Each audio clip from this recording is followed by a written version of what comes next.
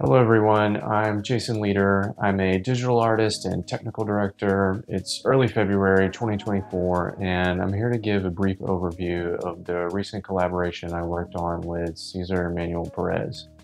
This was for the Live Code Boston event presented last month by Boston Tech Poetics at MIT's Theater Arts Building in Cambridge, Massachusetts. Playing behind me is footage of the project for this event, we produced a series of animations that blended Cesar's original paintings and digital art with Unreal Engine 5 and glitch animation techniques. I have a lot to share, so I'll get right into it. If you're not familiar with Boston Tech Poetics, they're a creative tech community in the Boston area. I was grateful to receive an invitation to perform and share their open call to tech artists for the Live Code Boston event happening at MIT's Theater Arts Building in Cambridge. I believe this was my first time participating in a Live Code event. It was really cool to learn about all the amazing work being done in Boston and all over by technical creatives. I'm really in love with the arts and I especially love digital art. I immediately wanted to reach out to Cesar. This is him discussing his work and our collaborations. Here we have some of my canvas work um, at a solo show that I had last year, some of the digital work that I presented while I was there as well. Me and Jason, like collaborative work has always been super fluid, so I've never hesitated when it came to collaborating with him when it comes to anything.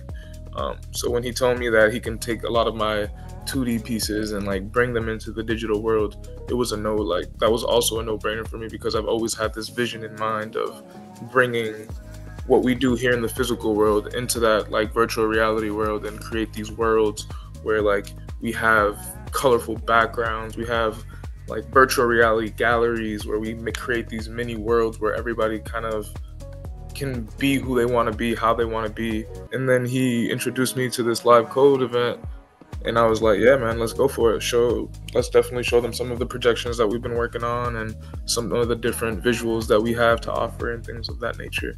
I was very inspired by a collaborative piece Cesar and I did using Unreal Engine back in 2020. Here we combined some of Cesar's collage work with some of my digital fashion characters that were rendered using Unreal Engine 4. Mm, something. With the release of Unreal Engine 5 and Substrate, I wanted to expand upon our previous work and see what kind of beautiful materials and animations we could create. Substrate is the new materials authoring tool inside Unreal Engine 5.3. It allows for the multi-layering of textures that can be used in fun ways ways to make materials from artworks.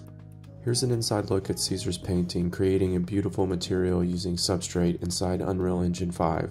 I really like designing using node networks, and it's so cool to see artworks reimagined using these new digital tools. With Cesar's artworks creating materials and the Unreal level sequences set up, it was time to start rendering some videos and blend them up digitally. The live code event was going to feature a glitch aesthetic, so I processed the resulting renders using After Effects and TouchDesigner networks. We uploaded the final videos and were glad to hear when our pieces were accepted into the show.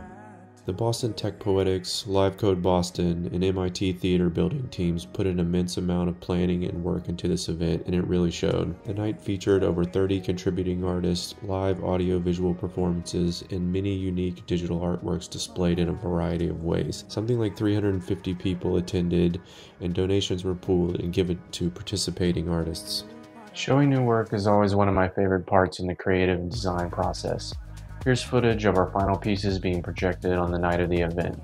Such a great feeling to see people dancing in front of a completed project and enjoying themselves.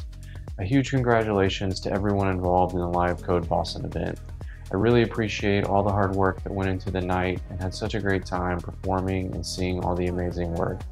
I, for one, can't wait to see what they do next, and I hope you'll consider following and supporting their work in any way you can.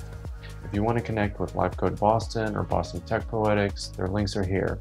If you have any questions for me about this or other projects, I'm available to connect on links to on uh, LinkedIn or Instagram. That's all for now, and I hope you have a great evening.